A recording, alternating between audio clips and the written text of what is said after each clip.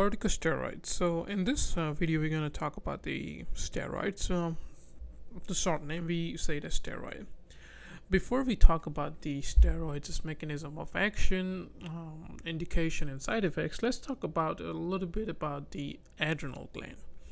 So uh, we have adrenal gland on both kidneys on the top of both kidneys. So like here's the kidney and there's an adrenal gland sitting on top of the kidney each kidney has one adrenal gland on top of that. What is the function of adrenal gland? Adrenal gland secretes two types of hormone. The one first one is glucocorticoid and second one is called mineralocorticoids. Glucocorticoids, there are three um, uh, endocrine enzymes are released from glucocorticoids are cortisol, corticosterone and cortisone while the mineralocorticoid is the aldosterone. What is the function of glucocorticoid and mineralocorticoid? Let's take a look into your next slide. Glucocorticoid, which is cortisol, cortico, which one? Uh, cortisol, corticosterone, and cortisone. They increase the level of glucose in, in our body, increases the breakdown of protein and lipids. Basically, it's uh, preparing body to to produce more energy um, decrease the inflammation and immune response. So it will decrease the white cell count it will it will decrease the inflammation um, it will decrease basically the inflammation system like uh, production of histamine and bradykinins and all inflammation inflammatory mediators. Uh, it increase the dilation of bronchial muscles and also affect the mood and brain excitability. So if a patient if uh, if uh, increased amount of glucocorticoid can um, change or alter the mood um, and uh, make a, make make a person really labile um, to to mood changes. Mineralocorticoid which is aldosterone uh, what it does, it goes to the kidney and increase the sodium retention and absorption. And when it increase the sodium retention and absorption, we know these water is gonna follow the sodium, so it will increase the water retention as well. So basically, um, aldosterone is helpful in increasing the blood volume level. Now, coming back to our main point corticosteroid drugs. Corticosteroid me- medications are nothing but just a synthetic form of steroids. So, this is a man-made corticosteroids. Like uh, all the uh, the enzymes are produced by the adrenal gland, which includes cortisone, hydrocortisone, methylprednisolone, prednisone, betamethasone, dexamethasone, and triamcinolone so these these um, medications work exactly same as these enzymes mineralocorticoid and glucocorticoids. Okay? Now since we know all since we know the function of these glucocorticoids and mineralocorticoids we can relate the indication like in which disease condition or in which specific condition we can use this medication for. So now, the first one, let's take a look. Skin disorders such as psoriasis, rash, allergic reaction, and dermatitis. Now, we know the one of the function of glucocorticoid is to decrease the inflammation and immune response. So, psoriasis, rash, allergic rash, and dermatitis is basically um, one kind of inflammation, um, and it, this this medication will help to decrease those this inflammation. Now we also know that it dilates the bronchial vessels and it also decreases the inflammation. So asthma. Asthma is nothing but just the inflammation in bronchial in, in the airway. So if you give this medication to a patient, it will decrease the inflammation at the same time it will dilate the bronchial bronchial muscles will help in asthma um, and also if a if a patient uh, has adrenal insufficiency basically if if their adrenal gland is not producing enough glucocorticoids and mineralocorticoids then the, these drugs can be given uh, as a supplement. Um, so adrenal insufficiency in order to decrease the immune system after organ transplant. So whenever um, any kind of organ transplants like a kidney transplant, liver transplant, heart transplants, there is a high chance that uh, there is a that organ can be rejected by the patient's immune immune system. So this medication will be given after the transplant in order to decrease the immune system of the patient so they will not have a organ rejection after a transplant. This one is also given in the allergic rhinitis because it decreases the inflammation and also decreases the immune system as well. Um, this one's all given in ulcerative colitis and Crohn disease, where it's basically inflammation of uh, small intestine and large intestine.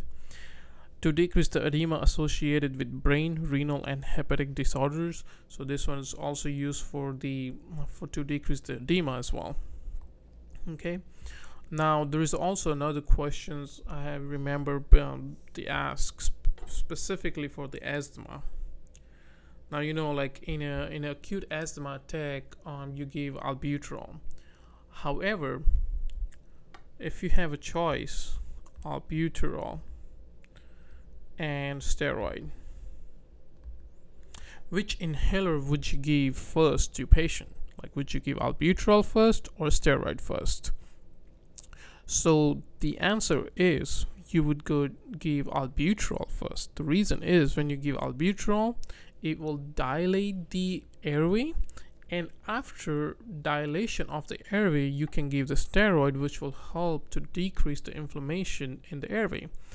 If you give steroid first and it doesn't do dilation of the of the airway it's not going to go all the way and not going to reach all the way down in the in the airway because of the inflammation and narrowing of the airway. So that's why you want to give the albuterol first and then the steroid this medication also used in a cancer such as leukemia and lymphomas. Leukemia and lymphomas is um, is a overproduction of WBCs. So our body is keep producing more and more and more WBCs. Not not all of them are mature, like immature uh, WBCs. Now, this drug suppress the immune system, um, suppress the production of white blood cells. So this medication is also given for for the leukemia and lymphomas as well. Um, in joint inflammation, uh, such as rheumatoid arthritis, and also given in a shock. Okay, uh, so these are the these are the medications are widely used in even hospital setting, outside of the hospital setting as well um, these are I, I would say these are the mm, like often used medication in ICU in med surg floor or even uh, as outpatient or like people are regularly on this medication. So what are the side effects and contraindication as we know like one of the one of the uh, side effects of the glucocorticoids can have a mood swing because as we talk it can it can cause like pe- people can have a really um can have people can be really liable to mood changes. So it can cause the mood swings uh, it can cause the weight gain because it increases the sodium and water retention. Remember min- mineralocorticoid increases the sodium retention uh, aldosterone um, and also the water retention will cause the weight gain and also increase in appetite would additionally cause the weight gain. Facial flushing insomnia um, it causes increase in fluid retention uh, risk for infection because the immune system's gonna be suppressed.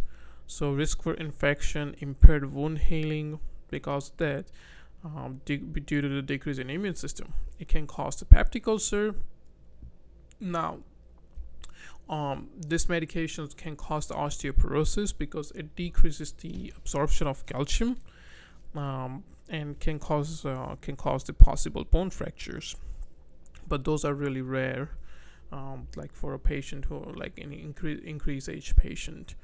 Um, this medication can cause the hypertension due and also the congestive heart failure due to the increase in sodium and water retention um, and also it can suppress the hypothalamic pituitary system because it's a negative feedback system so if you're giving a patient the steroid me- uh, steroid medicines um, your brain, which is um, where the hypothalamus is, will say, okay, we have enough steroids, enough corticost, uh, enough steroids in our body. We don't need to tell adrenal gland to function.